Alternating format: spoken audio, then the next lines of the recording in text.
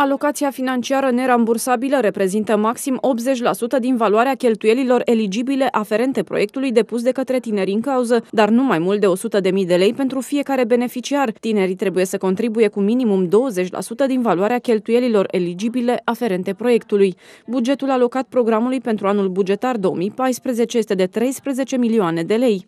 Ceea ce dorim noi acum să subliniem și să aducem în fața uh, întreprinzătorilor arădeni cu uh, precădere sunt programele care se adresează tinerilor prin uh, cunoscutul și deja uh, doritul program uh, SRLD, dar mai este un alt program care vine și completează SRLD prin Startup. Startup-ul se adresează uh, doar companiilor înființate în ultimii doi ani, deci nu trebuie să fie mai vechi uh, de doi ani de zile.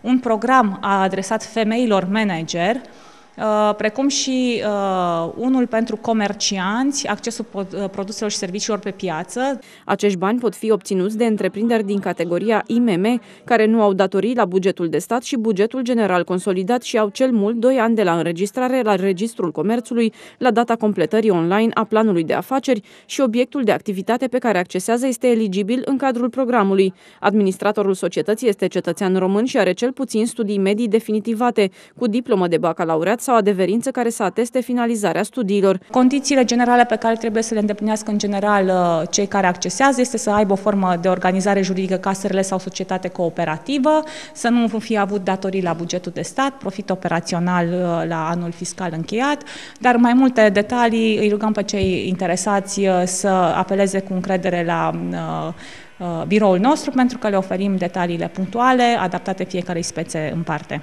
Înscrierea în program, solicitarea acordului de principiu pentru finanțare și completarea planului de afaceri în vederea obținerii finanțării se fac online pe site-ul www.aippim.ro.